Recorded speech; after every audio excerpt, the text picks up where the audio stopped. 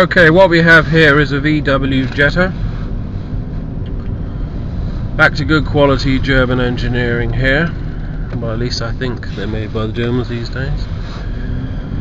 First impressions of this vehicle. Uh, this one is an automatic.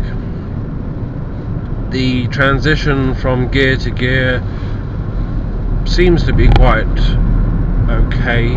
Maybe a little bit jerky to start off with. It's nowhere near as bad as like the French cars, particularly the Peugeots. The dashboard is very, um, very solid looking, even though it's all plastic. It's it really, really, really looks quite good. I think the Americans could learn a lot from these dashboards. All the instruments very basic. They've kept it down as simple as they possibly could. It's very well thought out. There's nothing confusing about this at all three knobs here, two knobs here, your, on screen, uh, dashboard, etc. etc. The dials on the dash are very clear, very precise, and visible, which is more important than anything else. So many cars I get into, and you just cannot see the dials. These dials are very, very clear, very, very precise. All round visibility of the car, well, have to say the rear view mirror looks a little bit obstructed. And it looks like something in the looks like the rear shelf seems to stick up a lot. So you don't have a lot of window basically in the rear view mirror. The side mirrors are at a perfect height. They're not too low. Might actually be able to get away with them being a little bit higher but I'm not having to make too much head movement to actually see, get to the mirrors. Really at the end of the day you want mirrors that you can look at without having to move your face. The brakes on this do feel like they're um, sending me back a bit of a bit of a wobble actually. They don't feel quite as nice and precise as you might expect with something like a Mercedes or even a BMW if anything I would say they're possibly a little bit grabby which is not a good thing. I find while sitting in this car that I am higher than the windscreen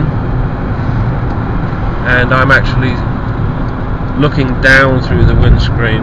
Now one advantage to that is if you drive a car which has an enormous windscreen like a lot of the modern Citroens when you get hit by the sun the whole of the windscreen becomes one big blinding light. Even with the sunblinds down, it can be a real issue. This car feels like um, it, it, feel, it feels like it's it's put together very very solid. It feels to me as if it's built to last. The sort of car that if you bought, you'd expect it to still be running in 15 years' time. Doesn't look like any bits are going to fall off the dials on this dashboard here are clear and precise. There's no confusing logos or lights or colours in the system. You've got a black dial, you've got white digits, and you've got a red uh, needle. Very, very quick to read what's going on.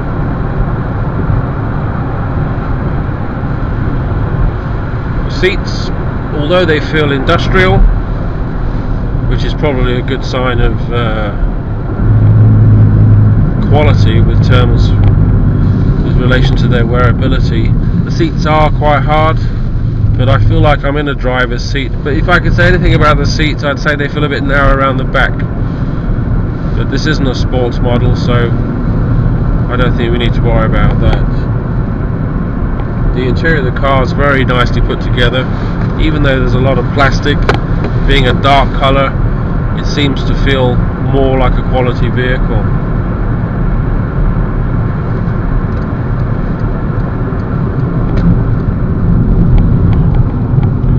The feedback I get from the road, if I could say anything at all, I would say it's a little bit bumpy.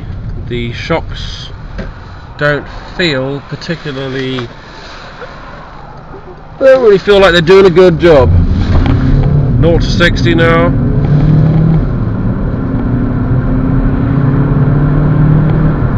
and we're at 16 now. So we're obviously not dealing with a fast car here, but this is an ideal family car. The steering actually feels rather light. Um,